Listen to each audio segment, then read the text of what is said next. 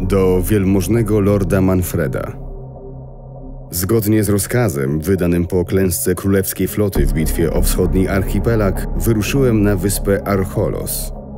Po trzech miesiącach spędzonych wśród mieszkańców melduję, że wbrew początkowym przypuszczeniom sytuacja na wyspie jest stabilna. W mojej ocenie wcześniejsze doniesienia magów wody wynikają ze znacznego niezadowolenia mieszkańców na wieść o radykalnym zaostrzeniu przepisów prawa, jak i zwiększonego napływu ludności z okolicznych wysp. Plotki o rzekomych buntach są nieprawdziwe. Wojna z orkami jedynie wzmocniła poczucie jedności wyspiarzy z królestwem Myrtany.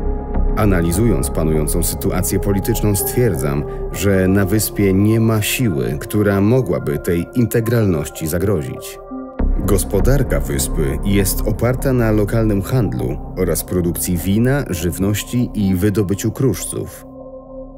Odwiedziłem obie winnice i gwarantuję, że funkcjonują one bez najmniejszych zarzutów. Mimo nieznacznego spadku wpływów gildii Araxos w wyniku incydentu i przejęcia floty kupieckiej przez armię, organizacja pozostaje wierna królowi.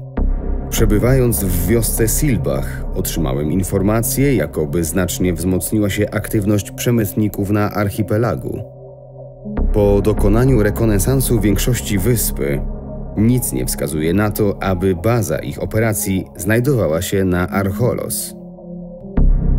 Zamykając raport stwierdzam, iż nie zachodzi potrzeba interwencji ze strony wojsk królewskich.